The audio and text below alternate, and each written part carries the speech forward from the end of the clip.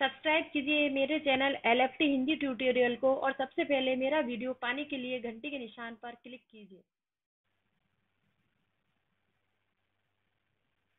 Hello friends मेरे channel D Hindi tutorial में आपका स्वागत है। आज का हमारा विषय है विराम चिन्ह। विराम विराम का मतलब होता है ठहरना या रुकना। जब हम किसी वाक्य को पढ़ते हैं या लिखते हैं तो उस समय थोड़ा, थोड़ी देर रुकना आवश्यक होता है, जिससे कि हमारी बात या भाषा अच्छी तरह से स्पष्ट और अर्थपूर्ण हो जाए। तो इसीलिए हिंदी में कुछ विराम चिन्हों का प्रयोग किया जाता है।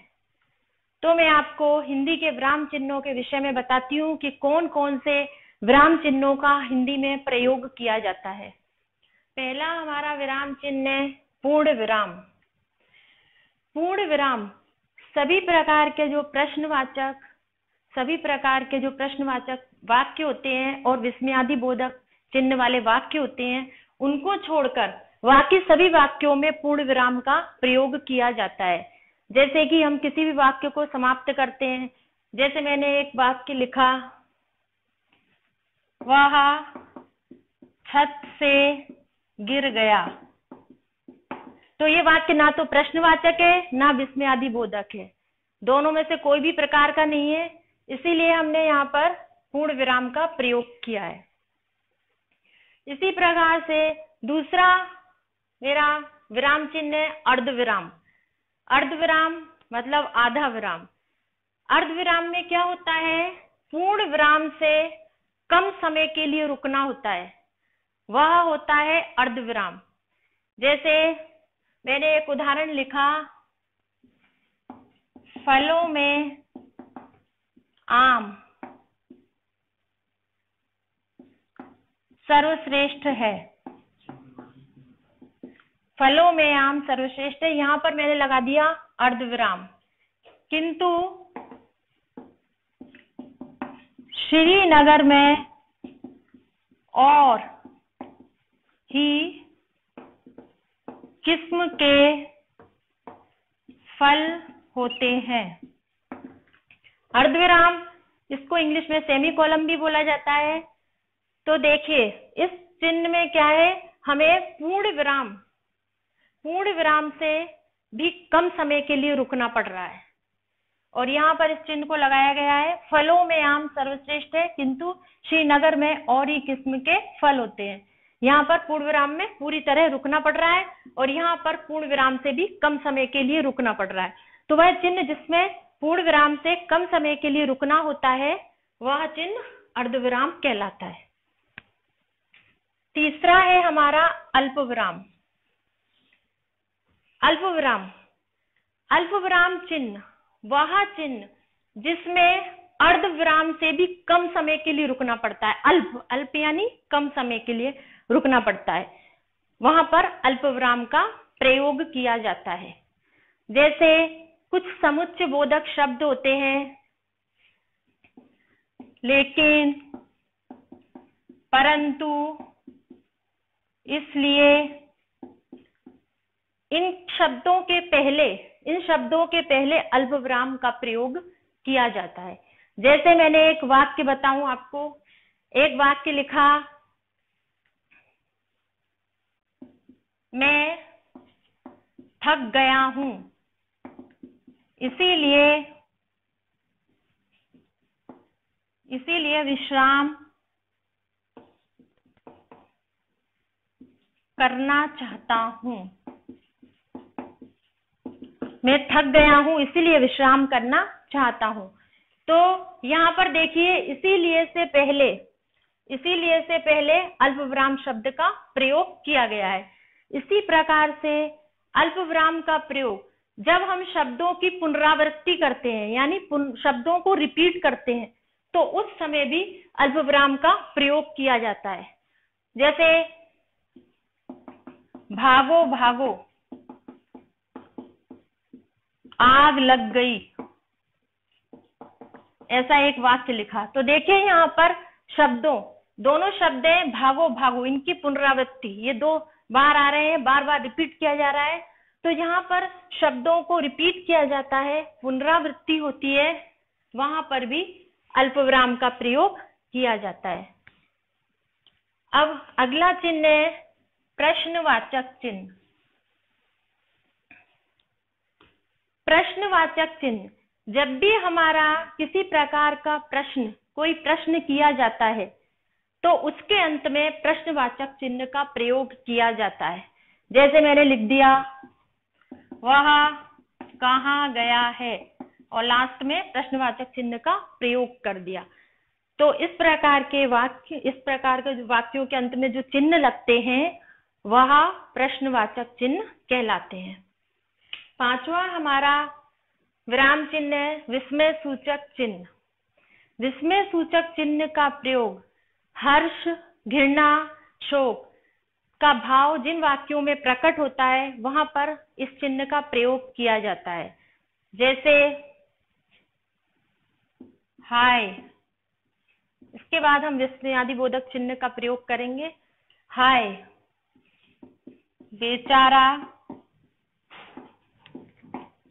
वैर थी, मारा गया। तो जिस शब्द से आश्चर्य, घृणा का भाव प्रकट होता है, उस शब्द के बाद विस्मय सूचक चिन्ह का प्रयोग किया जाता है।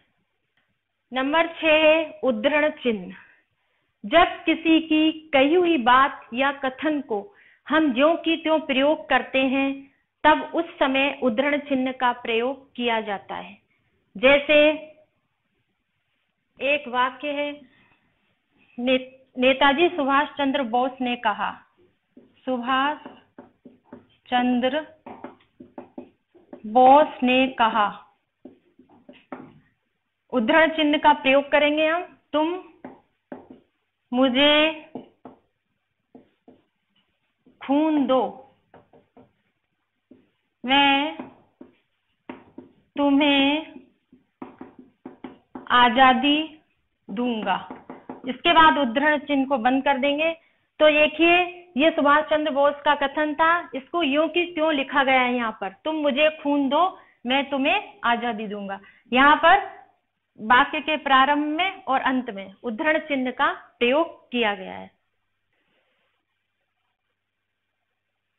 हमारा अगला चिन्ह है, सातवां चिन्ह है, योजक चिन्ह। इस प्रकार से लगाया जाता है, ये योजक चिन्ह। सामासिक पद होते हैं। सामासिक पदों के बीच में योजक चिन्ह का प्रयोग किया जाता है। जैसे, लाभ, हानि। और भी सामासिक पद है, माता, पिता। इनके बीच में योजक चिन्ह का प्रयोग किया जाता है। इसी प्रकार से कुछ तुलना सूचक शब्द होते हैं, तुलना बताने वाले। उनके बीच भी योजक चिन्ह का प्रयोग किया जाता है। जैसे मैंने लिखा, चाँद सा चेहरा,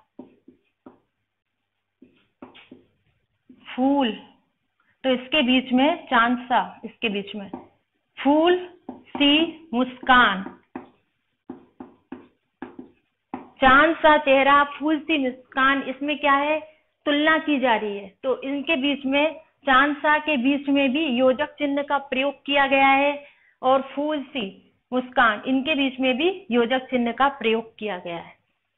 अगला चिन्ह है हमारा कोष्टक। कोष्टक, इसको दो प्रकार से लगाते हैं, ये छोटा कोष्टक, ये बड़ा कोष्टक। तो किसी भी कठिन शब्द के अर्थ को प्रकट करने के लिए, किसी भी कठिन शब्द है, उसको प्रकट करने के लिए इस चिन्ह का, कोष्टक चिन्ह का प्रयोग किया जाता है। जैसे मैं आपकी सामर्थ्य यहाँ कोष्टक में लिख दिया शक्ति को जानता हूँ। तो देखिए, यहाँ पर सामर्थ्य एक कठिन शब्द है। इसको स्पष्ट करने के लिए कोष्टक में शक्ति लिख दिया गया। सामर्थ्य का मतलब होता है शक्ति। तो इस तरह से कोष्टक चिन्ह का भी इसमें प्रयोग किया गया है। इस तरह से कोष्टक चिन्ह का प्रयोग किया जाता है। हमारा अगला विराम चिन्ह है हंस पद जिसको त्रुटि बोधक भी बोलते हैं।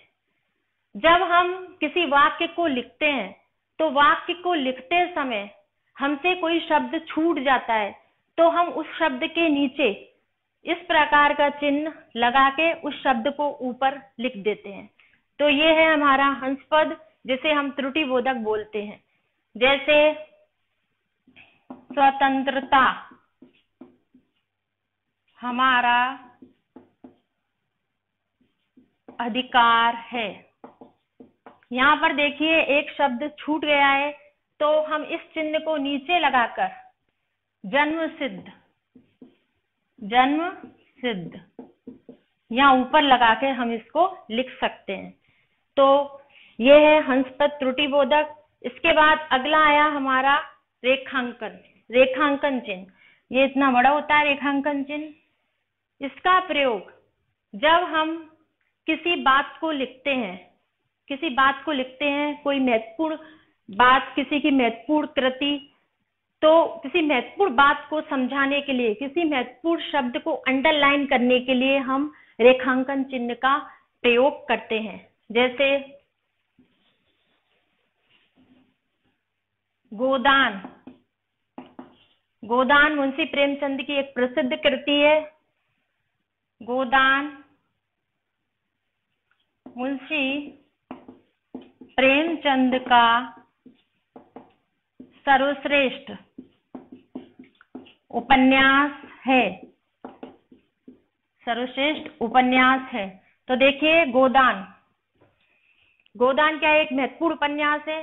तो इसके नीचे क्या है? हम रेखांकन चिन्ह का प्रयोग करेंगे। अगला है लाघव चिन्ह। लाघव चिन्ह इस तरह से लगाया जाता है और इसका प्रयोग, लाघव चिन्ह का प्रयोग हम कब करते हैं? जब हम किसी शब्द को संक्षिप्त रूप में लिखना चाहते हैं, तब इस चिन्ह का प्रयोग किया जाता है। जैसे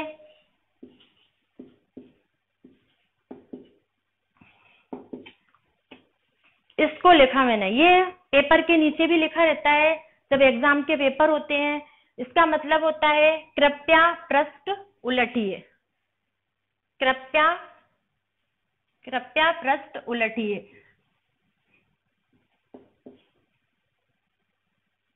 पृष्ठ उलटिए। ये चिन्ह, कृपया पृष्ठ उलटिए। इसी प्रकार से जैसे राजकीय, उच्चतर माध्यमिक विद्यालय। इसमें भी हम इस प्रकार के चिन्ह का प्रयोग कर सकते हैं। तो ये है हमारा लागत चिन्ह। इसका प्रयोग क्या है? किसी शब्द को हम संक्षिप्त में लिखना चाहते हैं तो इस प्रकार के चिन्ह का प्रयोग करते हैं। तो ये मेरा विराम चिन्ह से संबंधित वीडियो यहीं पर समाप्त होता है। धन्यवाद।